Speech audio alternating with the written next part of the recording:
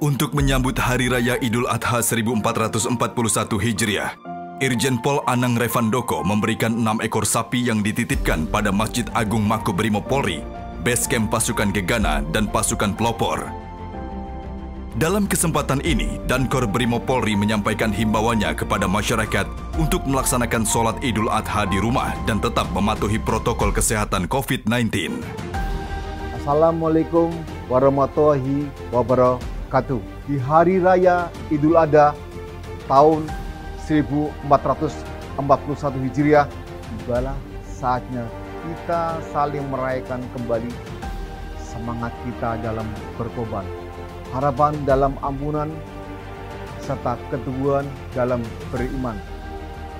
Tidak ada yang lebih penting daripada rasa bersyukur kita di Hari Raya Idul Adha.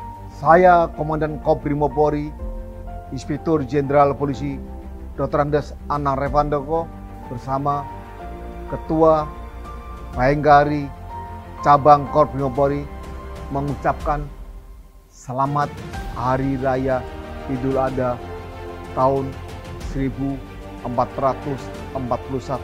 Hijriah. Kita saling bau-membau sebagai sesama anak bangsa negara kesatuan Republik Indonesia. Wassalamualaikum warahmatullahi wabarakatuh.